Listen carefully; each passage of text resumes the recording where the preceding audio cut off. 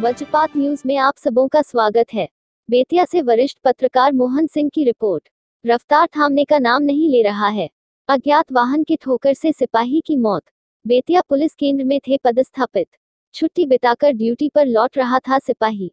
Police केंद्र में पदस्थापित सिपाही अरविंद कुमार सिंह पीटीसी 624 छुट्टी बिताकर स्कूटी से बेतिया आने के क्रम में जौकटिया नानहोसती मार्ग स्थित अज्ञात वाहन के चपेट में आने से घटनास्थल पर ही उनकी मौत हो गई। मृत सिपाही पटना जिला के नौबतपुर थाना क्षेत्र निवासी बताया जाता है। इस बाबत इंस्पेक्टर सह थानाध्यक्ष राणा रणविजय कुमार ने बताया कि अज्ञात वाहन पर कांड संख्या 624 बटा 20 दर्ज कर शव को पोस्टमार्टम में भेज दिया गया है। घटना की सूचना मिलते ही बेतिया पुलिस केंद्र में शोक सभा का आयोजन कर शोक संवेदना व्यक्त की गई।